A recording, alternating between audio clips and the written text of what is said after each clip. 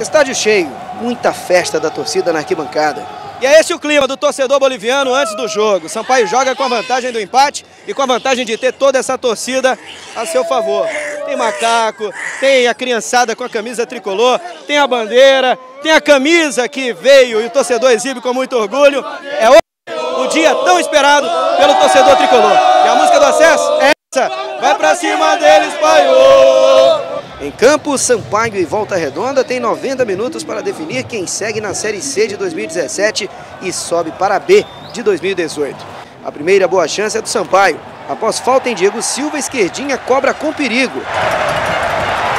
O primeiro chute do Volta Redonda é de Djabaiano. Depois, toque de calcanhar e Michel cruza. Por muito pouco, Luan não alcança. A resposta do Sampaio vem com Fernando Sobral. Um chute forte que quase complica o goleiro Andrei. Na sequência, um susto após esse chutão para cima de Pedro Costa. De Jabaiano se atrapalha na hora de finalizar.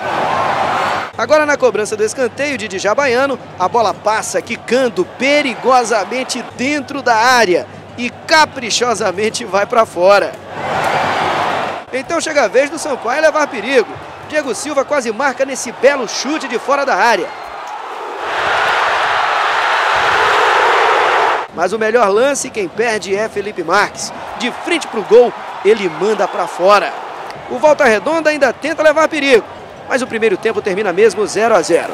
As fortes emoções ficam para a segunda etapa. Marlon, que acabara de entrar no lugar de Iltinho, arrisca de longe e Andrei defende. Mas da boa jogada de Reginaldo Júnior, que encontra Marlon na linha de fundo e tem o cruzamento certeiro para Fernando Sobral, ele não consegue defender. Golaço! Vale a pena ver por outro ângulo a jogada tricolor. Belo passe de Reginaldo Júnior. Cruzamento preciso de Marlon. Gol de Fernando Sobral. Sampaio 1, volta redonda 0.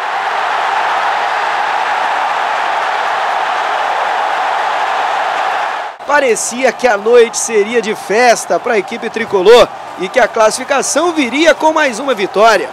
Só que minutos depois, cruzamento.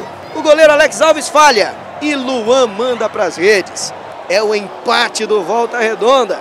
E aquela sensação, será que o Volta Redonda vai colocar água no chope dos mais de 35 mil torcedores que lotaram o Castelão? claro que não. O Sampaio segura o resultado tenta ainda marcar o segundo gol. Espera o apito final e comemora a volta triunfal à Série B do Campeonato Brasileiro. Com a paciência de sempre, a gente conseguiu o gol e no finalzinho tomou o gol.